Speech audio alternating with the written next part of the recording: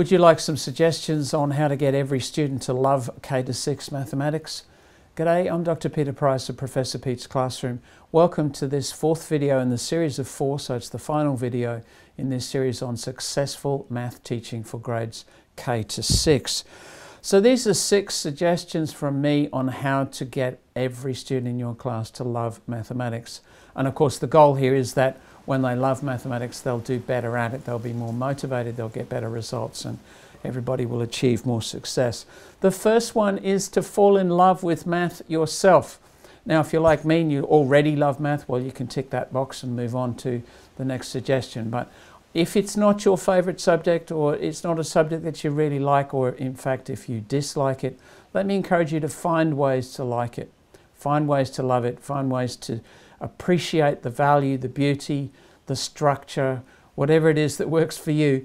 But we know that enthusiasm for a subject um, is contagious, and when a teacher loves a subject, whatever your favourite subject is, you know the effect.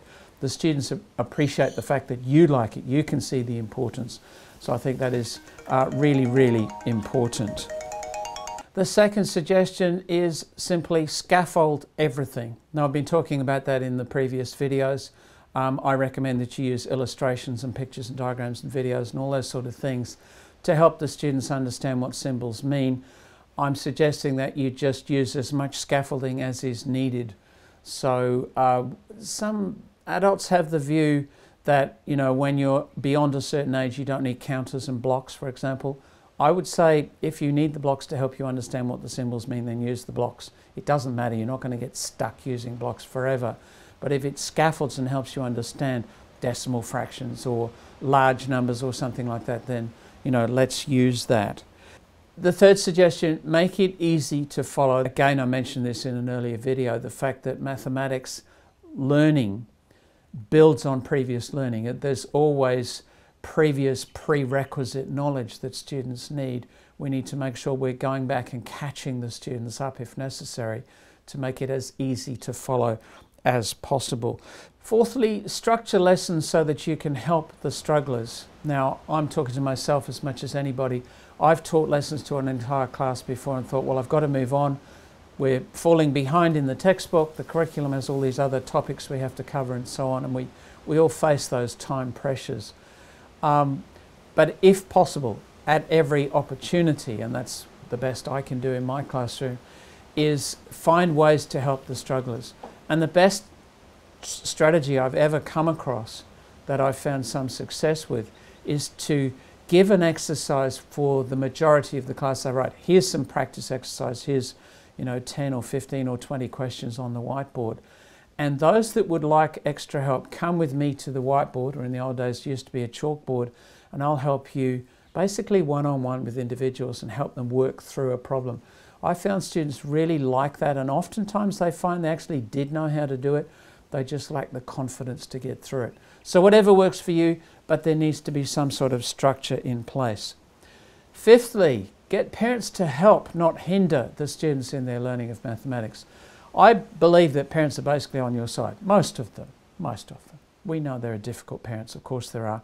But if you can get parents to help and deliberately set about to help them understand how you approach the teaching of mathematics, they may never have learned mathematics. Chances are they did not learn mathematics the way you teach it. They didn't know that you were supposed to understand it.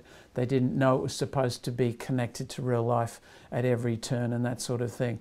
So if you can generate support from home, I think that's got a powerful effect on the learning of their children, your students. And sixth, sixthly, basically set the goal of success for every student as a non-negotiable in your classroom. So if you set that as a priority for yourself, make sure the students know, make sure that the parents know, the teacher aides know that you have decided that every child should achieve success if possible, then that um, gives a goal for everybody to aim for. It lets everybody know that they're on the same page. And you let students know you're not prepared to let them fall behind. You're not going to leave them by the wayside, um, not understanding things. So that's it, six suggestions to get every student in your class to love mathematics and I wish you every success with that. I invite you to come to our website, profpete.com, where we have thousands of resources plus interactive software that really are examples of the approach that I've been talking about on these videos. They help students to make connections, they help to illustrate the concepts. Every single resource we have on our website is built from the ground up by ourselves with that goal in mind of helping every student to understand mathematics. That, that's why we use the, the slogan, every child can succeed in K to 6 mathematics. So go to our website, um, see what we've got on offer, see if a membership is right for you. But that's it for this video. I look forward to talking to you again very soon. But for now, it's bye from me.